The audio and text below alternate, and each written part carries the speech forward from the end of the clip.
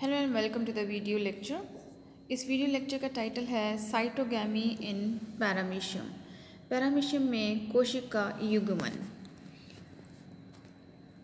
Paramecium में कोशिका युगन युग्मन सर्वप्रथम आर विचरमैन ने पैरामीशियम कॉडेटम प्रजाति में दर्शाया था।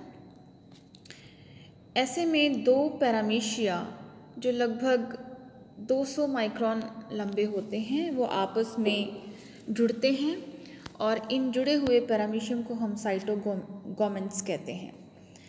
लेकिन इन दोनों पैरामीशियम में कॉन्जुगेशन के समान न्यूक्लियर एक्सचेंज नहीं होता। न्यूक्लियर जो है न्यूक्लियर गैमेटिक न्यूक्लियस या गैमेट न्यूक्लियाई केवल एक ही इंडिविजुअल के अंदर फ्यूज़ होते हैं, जैसे कि ऑटोगैमी में होते हैं। तो ये कॉन्जुगेशन से मिलता जुलता है क्योंकि दो पैरामीशियम आपस में फ्यूज़ करते हैं ओरल साइड पर, जहाँ पर इनका जो है साइटोस्टोम होता है। और ये ऑटोगेमी से इसलिए मिलता है प्रोसेस इसलिए रिजेंबल करता है क्योंकि ऐसे में जो एक ही इंडिविजुअल के अंदर गैमिट न्यूक्लियाई फ्यूज़ होते हैं। तो एक तरह से ये सेल्फ फर्टिलाइजेशन है इन कॉन्जुगेंट्स तो ऐसे जुड़े हुए पैरामीशियम को हम साइटोगोमेंट्स कहते हैं। लेकिन उनमें आप, उनमें न्यूक्लियर मटेरियल का एक्सचेंज नहीं होता।